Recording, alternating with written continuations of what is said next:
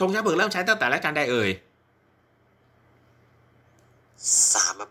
อ่ารัชกาลที่สามถูกต้องครับโอ้โหขอบคุณมาก ท่านอื่นช่วยตอบด้วยนะนะครับ เริ่มต้นในสมัยรัชกาลที่ 3 จากหลักฐานต่างๆ นะ ถ้าท่านใดสงสงสัยหรือว่าต้องการข้อมูลเพิ่มเติมเนี่ย ก็แชทคุยกับผมได้นะครับ หลักฐานผมให้หมดทุกอย่างได้ จบจนกระทั่งถึงรัชกาลที่ 6 ครับ คราวนี้มันจะเป็นประเด็นนะครับ เรื่องเปลี่ยนธงชาติ มีท่านใดเคยได้เคยได้ยินนี่ไหมครับว่าเราเปลี่ยนธงช้างเผือกมาเป็นธงไตรลงเพราะธงกลับหัว มีการประดับธงกลับหัวรับเสด็จ มีใครเคยฟังเรื่องนี้บ้างเอ่ยยังไม่เคยนะครับอ่า ถ้ายังไม่เคยนั้นดีแล้วครับ เพราะว่าข้อมูลทั้งหมดนั้นมันผิด แต่เราเชื่อกันมาเกือบ 60 ปีนะคืออย่างนี้ครับ ผมจะเล่าให้ฟังดีกว่า เพราะวันหนึ่งท่านอาจจะได้ยินก็ได้ คืออมีข้อมูลของจมื่นอมรดารุณารักษ์นะวันนี้เขาเป็นข้าราชบริพารรัชกาลที่6นะเขียนอยู่ในวชิราวุธานุสรนะครับว่าครั้งหนึ่งนั้นนะครับพงท่านรัชกาลที่6ได้เสด็จเยือนอุทัยธานี และมีชาวบ้านชาวช่องเนี่ยนะครับตาลีตาเหลือกนะครับก็เรียกว่ารีบร้อนรีบรนนะประดับธงรับเสด็จนะในระหว่างทางนั้นก็ประดับธงช้างเผือกแล้วก็ด้วยความรีบนี่แหละ ก็ประดับธงกับหัวนะ นะในความเชื่อของคนไทยก็คือถ้าธงช้างกับหัวเนี่ยมันก็คือเท้าชี้ฟ้าถูกไหมครับ การที่เท้าชี้ฟ้าก็หมายความว่า ช้างตายช้างล้ม ก็แสดงว่าไม่เป็นมงคล เขาเชื่อกันมาอย่างนั้นจมืดอมรมรอรุณรักษ์เนี่ยเขาก็บันทึกมาอย่างนั้นแหละนะครับ ก็คือวันที่ 13 กันยายนนะก็บันทึกมา เราก็เชื่อมาตลอดนะครับจนกระทั่งได้ค้นพบหลักฐานสำคัญอย่างยิ่งยวดเลย นะครับแล้วก็เป็นหลักฐานที่เชื่อมรับประวัติศาสตร์ที่มันผิดเพี้ยนนี่ไปหมดเลย ผมผมเล่าให้ฟังกันแล้วกันนะครับ ทุกท่านจะได้ไม่คาใจ ไม่ได้ยินจากผมวันนี้ก็คงไปได้ยินวันหน้าไอ้เรื่องธงกับหัวเนี่ยนะครับ ก็คือได้พบเป็นพระราชหัตถ์เลยนะ เป็นลายมือของพระองค์ท่านเลยนะ บันทึกอยู่ในเอกสารของพระองค์นะฮะว่า วันที่ 13 กันยาเนี่ย พระองค์ท่านไม่ได้ไปอุทัยธานี พระองค์ท่านยังอยู่ในพระนครอยู่เลยนะครับ แล้วก็ได้มอบถ้วยรางวัลให้กับคณะฟุตบอลสยาม ตอนนั้นแข่งฟุตบอลอยู่นะครับ แล้วก็วันถัดไปเนี่ยก็ไปบางปะอินนะครับไม่ได้ไม่ได้ยุ่งเกี่ยวกับอุทัยธานีเลย ด้วยเหตุผลที่ไอ้นายจเหมือนอมรดารุณนั้นเนี่ยบันทึกผิดวันผิดเดือนผิดปี แล้วก็ไปมั่วกันมา แต่ด้วยเหตุที่แกเป็นราชองครักษ์ไง ทุกคนก็เชื่อว่า สิ่งที่ท่านลงอยู่ในวชิราวุธานุสรเนี่ยมันเป็นเรื่องจริง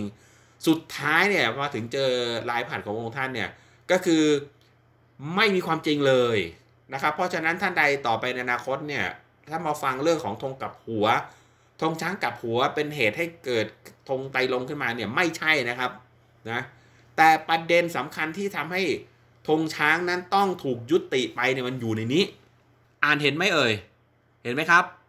เห็นอยู่ครับ แลทั้งรูปช้างซึ่งใช้กันอยู่ก็ไม่งดงาม จนเกือบไม่ทราบว่าช้างหรือเป็นรูปอะไร นี่ครับประเด็นมาอยู่ตรงนี้นะรัชกาลที่หกท่านได้ให้เหตุผลเลย ก็คือพูดง่ายว่า รูปช้างเนี่ยมันเป็นก้อน เวลามองไกลๆก็เลยไม่รู้มันคืออะไร เพราะฉะนั้นสิ่งที่ทำได้เนี่ย อันนี้สำคัญนะหลายคนบอกว่าอ้าวมองไม่เห็นก็ไม่เห็นจะอะไรนักหนาเลยก็ไปมองใกล้ๆก็ได้นี่ มันไม่ใช่อย่างนั้นครับ เพราะว่าตอน 2459 เนี่ย มันเกิดสงครามโลกครั้งที่หนึ่งแล้ว เรือเนี่ย มันก็ยิงกระตูมตามตูมตามกัน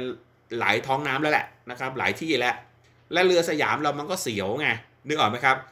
ถ้ามองธงไม่ออกเนี่ยใครจะไปรู้ว่าธงอะไรเขาก็ยิงใส่ก่อนแหละ แล้วก็ที่สำคัญคือ เราก็มีการเปลี่ยนฟังดีๆนะอันนี้สำคัญนะ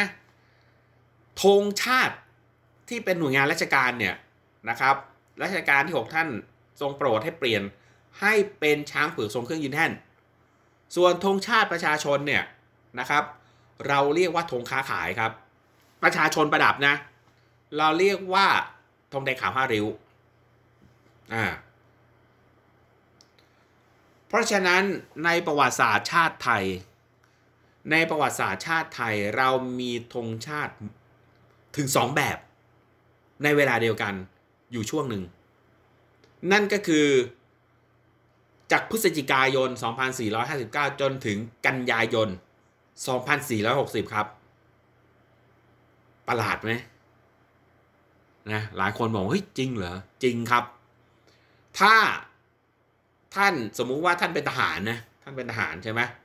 อ่าอยู่กองทัพบกนะฮะอยู่กองทัพบก ท่านไปทำงานตอนเช้านะครับ ท่านก็ต้อง หน่วยงานของท่านก็ต้องประดับแบบนี้ ประดับแบบนี้ที่ตึกของท่านนะนะในปีหลังพฤศจิกา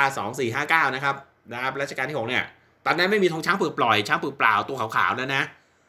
แต่พอท่านกลับบ้าน ท่านกลับบ้านเป็นเครื่องแต่งกายแล้วอยู่เป็นคนชาวบ้านธรรมดาแล้ว แล้ววันนั้นรัชกาลที่6เสด็จพระเนินผ่านมาพอดีนะท่านต้องรับเสด็จพระองค์ท่านแน่นอนอยู่แล้วแหละคุณต้องหาธงแบบนี้ประดับครับ ต้องเอาแดงขาวห้าริ้ว ประดับรับเสด็จพระองค์ท่าน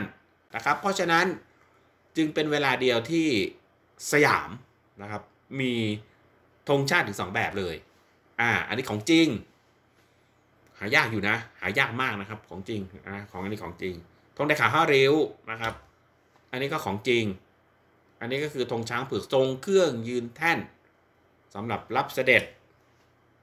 ผมถามหน่อยช่วยผมตอบนะ ธงแดงขาวห้าริ้วเนี่ยที่เป็นธงชาติของประชาชนเนี่ย เห็นหรือยังว่ามันคลับคล้ายคลับคาธงไตลงใช่ไหมครับ แล้วทำไมถึงจะต้องเป็นสองสีนี้ล่ะทำไมไม่เป็นชมพูม่วง ชมพูม่วงชมพู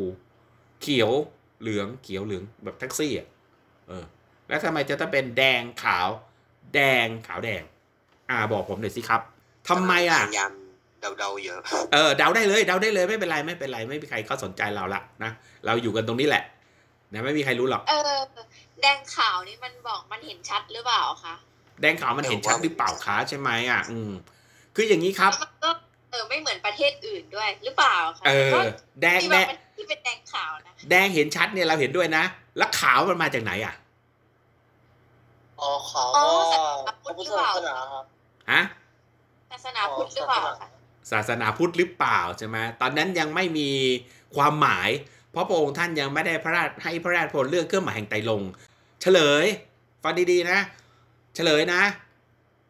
สีแดงมาจากพื้นธงช้างครับ สีขาวมาจากช้างเผือก คราวนี้เนี่ยเราละลายธงช้างเผือกให้กลายเป็นเส้นนะนึกออกไหมมันก็เลยกลายเป็นสองสีนี้ไงครับนะเป็นสองสีนี้ และที่สำคัญ ผมบอกทุกท่านทราบนะ ผมบอกทุกท่านทราบนะครับว่า สีแดงกับสีขาวนั้นถือเป็นสีแห่งชาติสยามมาตั้งแต่รัชกาลที่ 5 แล้ว เพราะสีแห่งชาติสยามนั้น มันคือสีของธงชาติอันประกอบด้วยแดงพื้นและขาวช้างเผือก ถ้าท่านบอกว่าจริงเหรอ มีหลักฐานจริงๆไหมเนี่ยไอ้เรื่องที่ผมพูดเนี่ยมีบันทึกอยู่ในลอนดอนนิวส์นะครับ มีการยืนยันชัดเจนอยู่ในลอนดอนนิวส์นะครับ เพราะว่าเป็นการกล่าวถึง เป็นการกล่าวถึงการทำเหรียญนะครับฉลองร้อยปี แห่งกรุงรัตนโกสินทร์แล้วแพรแถบเนี่ยเป็นสองสี คือริบบิ้นเนี่ยเป็นแดงขาว และมีการยืนยันชัดเจนของความหมายว่าแดงขาวของสยามคือสีของชาติครับ เข้าใจยังนะขออนุญาตนะเออถ้าเอาถ้าเรารู้ว่าไอ้สีขาวแดงเนี่ยมัน เป็นเป็นชาติ เพราะว่าเป็นเหรียญแพรแถบฉลองร้อยปีพระนครเนี่ยครับอันนี้เป็นเหตุผลเดียวกันกับที่เหรียญรัตนาพรรห้าจะเป็นสีขาวแดงไหมครับเพราะว่าใช่ใช่ใช่ใช่ใช่ครับเป็นสีเดียวกันรวมไปถึงเหรียญทรงยินดีด้วยเหรียญทรงยินดีแพรแถบก็เป็นแดงขาแขนขาวจำได้ไหมของทหารที่ปกป้องชาติครับอ่า ซึ่งปัจจุบันเป็นดุษฎีมารามครับใช่ใช่ใช่ครับ ดุษฎีมาลานั่นแหละนะดุษฎีมาลาที่อ่ามันจะมีชมพูชมพูขาวสำหรับประชาชนผู้ทำคุณนะ แล้วก็แดงขาวสำหรับทหารผู้ทำคุณกับแผ่นดินถูกไหมครับ เพราะฉะนั้นแดงขาวนี่แหละคือสีของทหารที่ปกป้องปกป้องแผ่นดินนะครับ แผ่นดินสยามนี่แหละ เพราะฉะนั้นเมื่อกี้ผมบอกว่าธงเรามีธงชาติที่สองแบบใช้พร้อมกันเลยคือ พฤศจิกายน 2459 จนถึงกันยายน 2460 แล้วทำไมทำไมธงแดงขาวว่าริ้วเนี่ยจริงๆแล้วธงแดงขาวว่าริ้วเนี่ยเราจะต้องประดับจนถึงวันนี้นะ เออ เราจะต้องประดับจนถึงวันนี้นะ แต่สาเหตุที่เปลี่ยนเนี่ยเปลี่ยนเพราะอะไร